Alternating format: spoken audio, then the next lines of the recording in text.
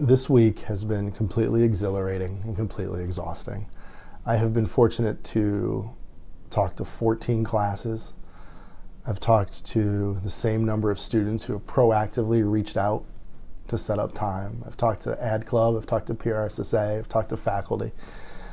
It has given me um, renewed energy about all of the great things that go on here and that the students are learning the things that we need them to learn to be really good integrated marketing and communications people. I think they understand that and they're excited about what's possible for them. That it isn't it isn't limiting in any way. And um, I've had uh, I just had a great time getting to know them and and all the great things that they're learning. A couple of memories that come to mind that relate back to my student days. One was the absolute love of sitting around a table and talking about an issue with so many different perspectives. Like you're literally just talking to learn, and it's it's not dependent on some other outcome. I love doing that here. This school fosters that type of collaboration and exploration, and it was really great to see that this week.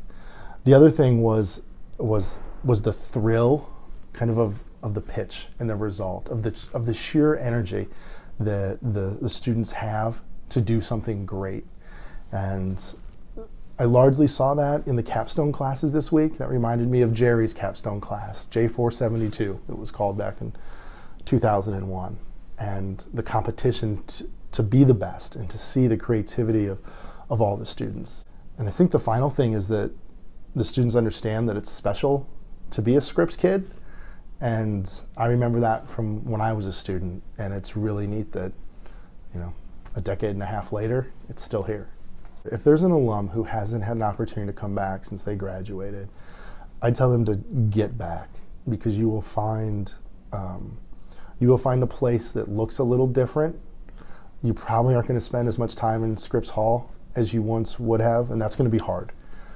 But you will find the same overachieving, um, great students who have so much pride in this school that that, that feeling will reignite why you got into this field in the first place.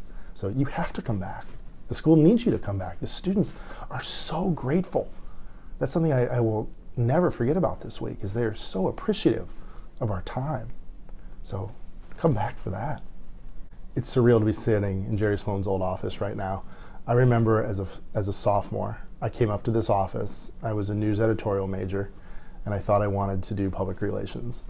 And I asked for help, and I knew that I needed to get an internship. And Jerry told me about this thing called the PRSA Blue Book and how I should use it as a tool to find an internship. And I don't know, I think it's completely predictable that if I wouldn't have come up and sat in this office, gosh, in 1998, I'm not so sure I would be sitting here today. And so uh, it's pretty cool to be sitting in the office of, of Jerry Sloan.